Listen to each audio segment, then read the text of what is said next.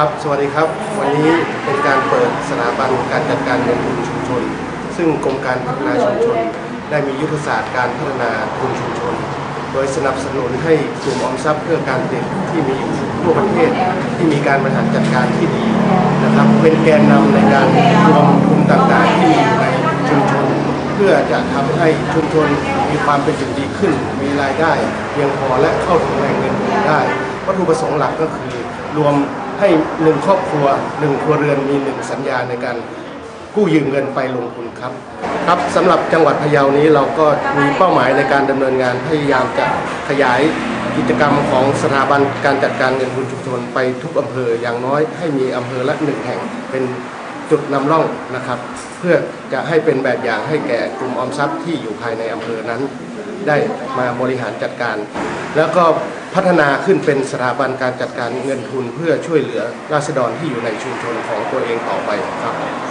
การจัดตั้งสถาบันการจัดการเงินทุนชุมชนบ้านแดนเมืองหมู่ที่ 7ตำบลเดือนอำเภอเชียงคำแห่งนี้นะคะได้เริ่มมาจากที่กลุ่มออมทรัพย์เพื่อการผลิตของบ้านแดนเมืองเป็นกลุ่มออมทรัพย์ที่ได้รับการคัดเลือกจากอำเภอนะซึ่งกลุ่มออมทรัพย์แห่งนี้ ได้ดำเนินการจัดตั้งขึ้นตั้งแต่ปีพศ 2541 ค่ะกลุ่มออมทรัพย์เพื่อการผลิตบ้านแดนเมืองอยู่ในเป็นกลุ่มออมทรัพย์ที่มีผลการประเมินอยู่ในระดับ 3 จากจำนวนกลุ่มออมทรัพย์ 63 กลุ่มของอำเภอเชียงคำค่ะ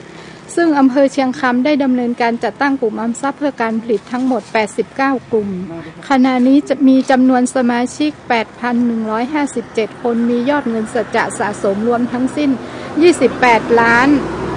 56,782 บาทนะคะ กลุ่มออมทรัพย์เพื่อการผลิตบ้านแดนเมืองคะเริ่มครั้งแรก มีสมาชิกแค่ 37 คนมีเงินสัจจะ 800 บาท ปัจจุบันมีสมาชิก 86 คนเงินสัจจะสะสม 570,000 บาทค่ะสาเหตุที่ว่าอำเภอได้ดำเนินการคัดเลือก กลุ่มออมทรัพย์เพื่อการผลิตบ้านแดนเมืองเป็นสถาบัน การจัดการเงินทุนชุมชนต้นแบบของจังหวัด เนื่องจากว่าบ้านแดนเมืองมีกลุ่มกลุ่มอาชีพ และกลุ่มกองทุนของเงินต่างๆ รวมทั้งสิ้น 14 กลุ่ม ซึ่งแต่ละกลุ่มก็มีคณะกรรมการ มีสมาชิก และมีความเข้มแข็ง มีระเบียบข้อบังคับของกลุ่มอยู่ เพื่อเพื่อเป็นการแก้ไขปัญหาหนี้นอกระบบ และก็ปัญหาที่ว่าประชาชน มีหนี้สินเพิ่มและรับภาระหนี้สินจากกองทุนหลาย ๆ กลุ่มนะคะอำเภอจึงได้ดำเนินการพิจารณาจัดตั้งรวมกลุ่มกองทุนต่างๆ ที่มีอยู่ในหมู่บ้านเป็นสถาบันการจัดการเงินทุนชุมชน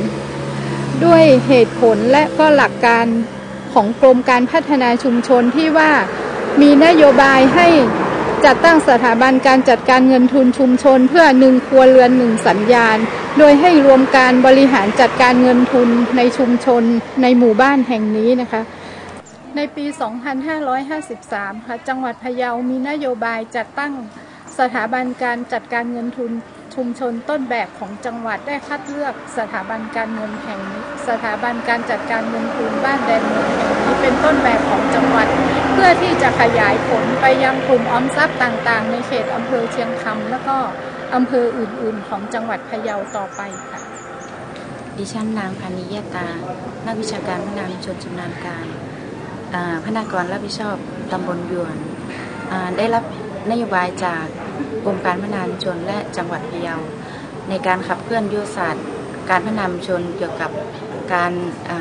จัดตั้งสถาบันการจัดการเงินทุนชุมชน ต้นแบบ ซึ่งอำเภอเชียงคำได้คัดเลือกอบ้านแดนเมืองหมู่เจ็ดตำบลยวน ซึ่งมีกลุ่มองค์กรหลากหลาย และมีความเข้มแข็งจึงได้คัดเลือกบ้านแดนเมืองเป็นสถาบันการจัดการเงินทุนต้นแบบ ในการนี้ในการนี้ดิฉันได้เข้าไปขับเคลื่อนโดยการ สร้างความรู้ความเข้าใจให้กับกลุ่มองค์กรในหมู่บ้าน แดนเมือง เพื่อดำเนินการขับเคลื่อนกิจกรรมตามนโยบาย และหลังจากนั้นจำนวนมีการจัดเวทีจำนวน 5 ครั้ง หลังจากนั้นได้นำกลุ่มองค์กรจำนวน 30 คน ไปศึกษาดูงานที่ตำบลพระพุทธบาท บ้านซาวาตำบลพระพุทธบาทพระพุทธบาทอำเภอเชียงกลางจังหวัดน่าน หลังจากพากลุ่มองค์กรได้ไปศึกษาดูงานแล้วได้กลับมาวิเคราะห์จุดอ่อนจุดแข็งของกลุ่ม แล้วก็พัฒนาความความเข้มแข็งของกลุ่ม จากนั้นได้ดำเนินการจัดตั้งวางแผนการจัดตั้งสถาบันการจัดการเงินทุนชุมชน แล้วก็จัดตั้งคณะกรรมการจัดตั้งระเบียบ โดยหลังจากได้จัดตั้งคณะกรรมการแล้ว จังหวัดได้เข้ามาประชุมอบรมเพิ่มศักยภาพคณะกรรมการคณคณะบริหารจัดการกองทุนเงินทุนชุมชนในวันที่ 14 12ถึง14 กรกฎาคม 2553 แล้วก็กำหนดเปิดสถาบันอย่างเป็นทางการในวันที่ 14 กรกฎาคม 2553 ดิฉันเชื่อมั่นว่า สถาบันการจัดการเงินทุนชุมชน บ้านเดนเมือง หมู่ 7 ตำบลยวน จะมีการพัฒนาเป็นสถาบันการจัดการเงินทุนชุมชนต้นแบบ เพื่อเป็นต้นแบบให้แก่กลุ่มองค์กร แล้วก็สถาบันการจัดการเงินทุนอื่น ๆ ได้ต่อไปครับการจัดตั้งสถาบันการเงินชุมชนที่ไปที่มาของการจัดตั้งเกี่ยวกับเรื่องสถาบัน การเงินในชุมชนในครั้งนี้สืบเรื่องมาจากบ้านแดนเมือง ซึ่งก็มีกลุ่มองค์กรต่างๆ ที่จัดตั้งขึ้นมาเป็นเวลาหลายปีแล้ว มีอยู่ทั้งหมด 14 กลุ่ม มีความหลากหลายในเรื่องระเบียบในการจัดอาการเรื่องการเงินของแต่ละกลุ่มพอดีมีเจ้าหน้าที่ให้คำแนะนำอยากจะให้ รวมกลุ่มมาเป็นองค์กรชุมชนในองค์กรเดียว ประโยชน์ที่ประชาชนหรือว่าชาวบ้านจะได้รับ นั่นก็คือที่ผ่านมาทางกลุ่มต่างๆ นั้นก็มีการออมและมีการปล่อยเงินกู้ให้กับสมาชิก แต่ละกลุ่มในหมู่บ้านมีทั้งหมด 16 กลุ่มองค์กร แต่ประชาชนบางคนนั้นเป็นสมาชิก ตั้ง 10 กลุ่มก็มี 5 กลุ่มก็มีอย่างนี้เป็นต้น ก็มาวิเคราะห์ถึงปัญหาที่ติดตามมา นั่นคือในการกู้เงินเพื่อนำไปใช้จ่ายในครอบครัว ก็จะกู้เงินตามกลุ่มต่างๆ ปัญหาติดตามมานั่นก็คืออการใช้หนี้การทำสัญญาเงินกู้กับกลุ่มต่างๆ มันก็ไปตรงกับเดือนเดียวกัน หรือว่าการใช้หนี้คืนให้กับกลุ่มนั้นจะมีปัญหามาก ก็วิเคราะห์กันมาหลายรอบหลายครั้งทางเจ้าหน้าที่พัฒนาการระดับอำเภอก็ลงมาดูปัญหาและก็ให้คำแนะนำและก็ผลักดันอยากจะให้เกิดให้มีองค์กรเดียวนั่นก็คือสถาบันการเงินในชุมชน ถ้ามีองค์กรนี้เกิดขึ้น ก็จะเป็นประโยชน์แก่พี่น้องชาวบ้านที่ถืออถือหุ้นหรืออเป็นสมาชิกกลุ่มต่างๆ ให้มีกลุ่มเดียวที่จะเป็นกลุ่มหลักในหมู่บ้าน จัดตั้งขึ้นมาก็หาคณะกรรมการกลุ่มต่างๆ เข้ามารวมกันให้เป็นคณะกรรมการในกลุ่มเดียว ก็พยายามที่จะผลักดันในส่วนนี้ให้เกิดขึ้นได้ก็มีการออกไปศึกษาดูงานที่จังหวัดน่าน บ้านซอวา และก็ที่บ้านแม่ใสก็เห็นว่าสิ่งที่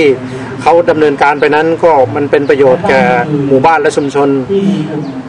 ก็มาปรึกษาหารือแล้วก็นัดหมายการประชุมประชาคมอยู่3-4ครั้งก็ถึงได้อ่าทำการดำเนินการเปิดเป็นสถาบันการเงินของบ้านแดนเมืองขึ้นมาครับ